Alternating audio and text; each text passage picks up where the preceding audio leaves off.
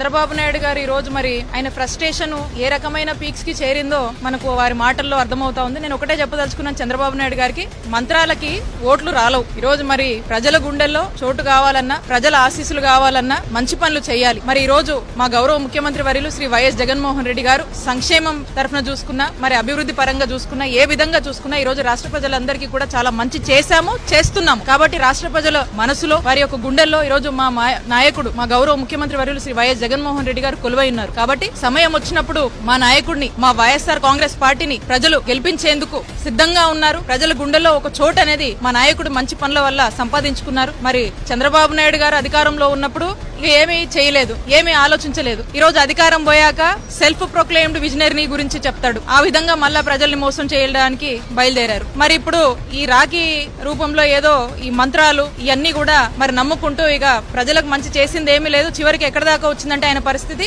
మంత్రాలని నమ్మే పరిస్థితి దాకా వచ్చింది. అంటే దీన్ని బట్టి అర్థం చేసుకోండి. చంద్రబాబు నాయుడు గారు పూర్తిగా ప్రజల్లో ఉనికి కోల్పోయి ప్రజలు ఏమాత్రం కూడా ప్రజల్లో క్రెడిబిలిటీ లేనటువంటి చంద్రబాబు నాయుడు గారు మరి ఈ రకమైన మాటలు మాట్లాడడం వల్ల ప్రజలన్నీ గమనిస్తున్నారు.